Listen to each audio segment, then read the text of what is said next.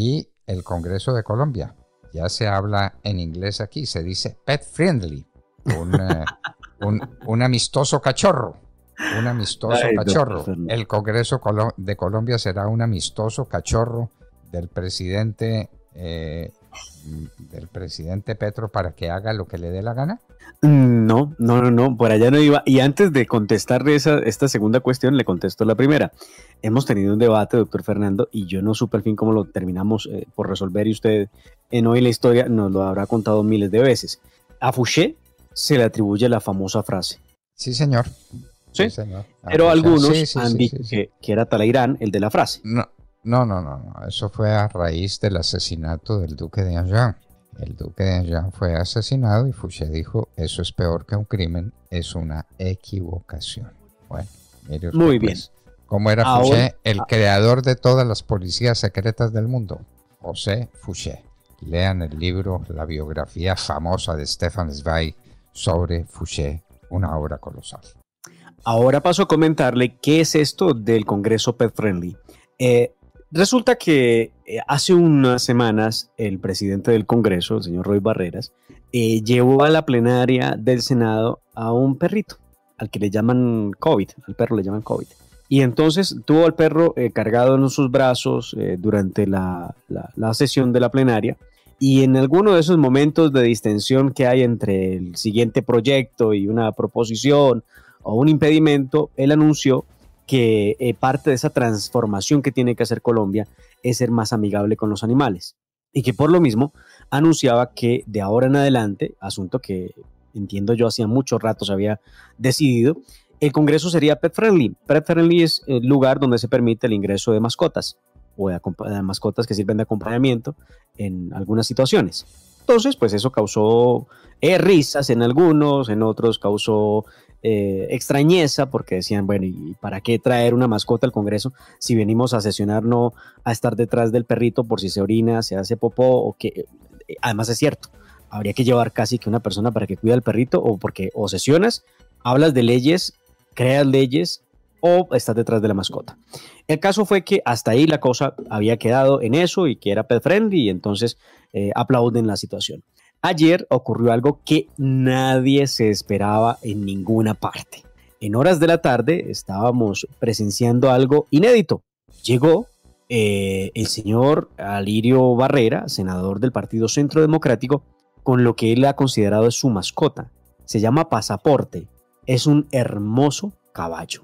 Sí, doctor Fernando, como lo escucha. Ah, y ustedes ah, Era lo que falta. Ah, pues es que por eso se empieza es que las cosas hay que atacarlas en su origen, en su raíz. ¿Cómo le permiten al señor, eh, quién fue Barreras o quién fue el que llevó el perro? Roy Barreras llevó el perrito. Pero, pero ¿cómo le permiten eso? ¿Cómo le permiten eso? Porque cada uno tiene derecho a llevar su perro. Ahora este señor resolvió llevar también su caballo. Entonces falta que lleven conejos y que se convierta aquello en un zoológico. No, eso no.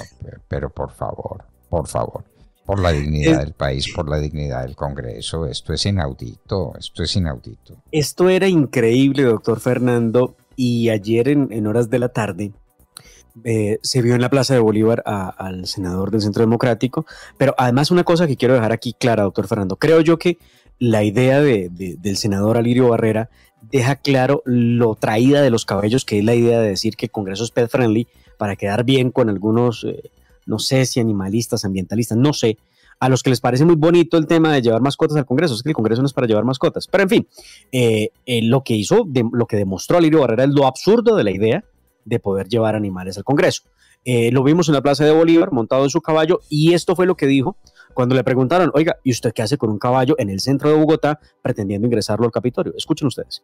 Porque el señor presidente del Senado manifestó que podíamos traer las mascotas a los senadores. Unos tienen gatos, perros, otros tienen otras cositas. Yo tengo mi caballito que es mi mascota, es en el que coleo, trabajo, salgo a cabalgata y hago de todo en él.